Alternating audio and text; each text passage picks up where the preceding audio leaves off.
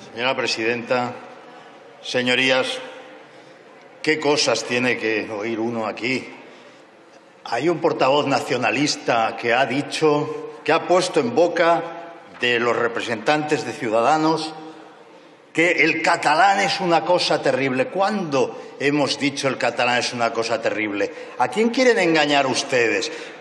¿Cómo se atreven a decir eso en este partido nacido en Cataluña, con catalanoparlantes? ¿Cómo se atreven a decir que nosotros vamos diciendo algo así?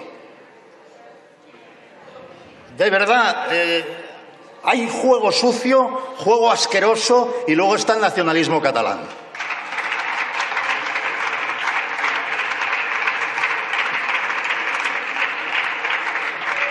Bueno, la clave del problema de la negociación de la vicepresidenta y el Gobierno en general con los separatistas eh, descritos es la ocultación, básicamente. Lo pueden haber hecho por miedo a sus socios, por la ambición de querer aguantar unos meses más en el helicóptero, da igual la motivación. La cuestión es que han ocultado, han ocultado que aceptaron negociar los 21 puntos de la vergüenza y sí, sí, aceptaron negociar los 21 puntos de la vergüenza. Y eso aceptaron negociar los 21 puntos de la vergüenza. Un presidente cabal, cuando le entregan un documento así, se lo devuelve al que se lo entrega, hombre. Y lo tuvieron que filtrar, lo tuvieron que filtrar los separatistas para presionarles. Y sabían muy bien lo que hacían. Si no se juntaran con ellos, no les pasarían estas cosas. Les hemos pillado, les hemos pillado y ustedes se han puesto a disimular. El presidente Sánchez llegó a la Moncloa engañando a los españoles con la promesa de que iba a convocar elecciones y se va ocho meses después intentando engañarnos de nuevo, fingiendo como que rompe con los separatistas mientras sigue con las reuniones bilaterales bajo cuerda. Sánchez ha hecho de la mentira una forma de supervivencia política. Su manual de resistencia es un manual de supervivencia, a costa de lo que sea. Y su verbo. Perdone, yo pediría un poco de respeto, no sé. Silencio, señorías. Si no me lo sí, señor usted, pues es que es un poco pesado. ¿no? Señor Girauta, continúe y sí, le ruego por favor que no. Ya, es que. El, que no, interrum que no interrumpan parecen, parecen, nacionalistas catalanes, han, han adoptado señor. las mismas formas que ellos, ¿no? Continúe, Algunos señor. hay ahí, ¿eh? También. También se lo digo. El nacionalismo es un veneno que ha azotado a España durante parte de su historia, ha condicionado la vida de los españoles de manera insoportable y algunos estamos hartos, hartos de que las comunidades más ricas sean las que más protestan, hartos de que las que más protestan sean las que más reciben, hartos de que los separatistas vengan a darnos lecciones morales al resto. Eh, hasta el Partido Popular y el Partido Socialista han permitido, y de ahí vienen muchos males, que hagan lo que quieran durante muchos años, que campen a sus anchas, tanto que se arrogan el papel de educarnos y de formularnos sus moralinas constantes sobre lo que es la legitimidad y la legalidad, lo que es el principio democrático y el Estado de Derecho, lo que es democracia o no es democracia, lo que son fascistas o no son fascistas. ¿Quieren fascistas? Mírense al espejo, hombre, y verán fascistas. El nacionalismo no ha sido nunca humilde y el catalán no es una excepción.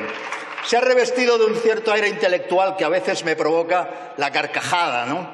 Como en el, en fin, como en el caso del portavoz al que me he referido antes, que se presenta como un especialista en educación y que dice no hay idiomas buenos e idiomas malos. Oiga, eso se lo digo yo, que tienen ustedes postergado al castellano en la escuela catalana. Postergado, eso es la inversión.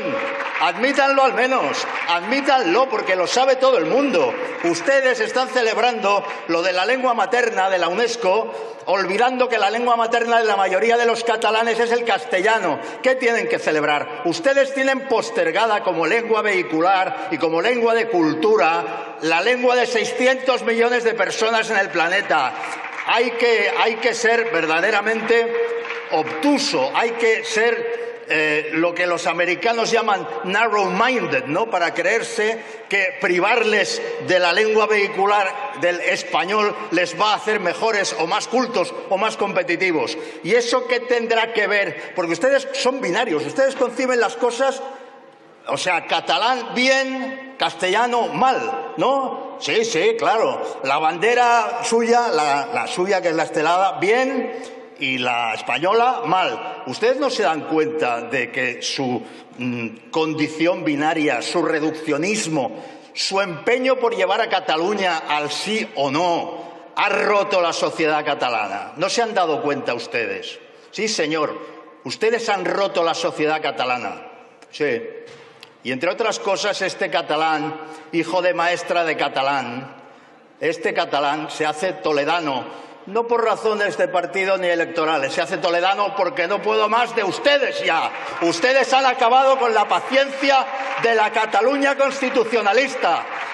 No quiero verles ni en pintura. Aquí les voy a ver. Aquí les voy a ver. Pero nacido en Barcelona y con 57 años vividos en Barcelona, les digo que su insistencia en separar y en romper la sociedad catalana es una tragedia porque algunos nos podemos marchar y seguiremos conectados con la cuestión porque aquí se representa al conjunto del pueblo español. Pero hay otros que tienen que callar para mantener su puesto de trabajo. Hay otros que callan porque no tienen la fuerza moral suficiente para sobreponerse a la hegemonía política ideológica que ustedes imponen.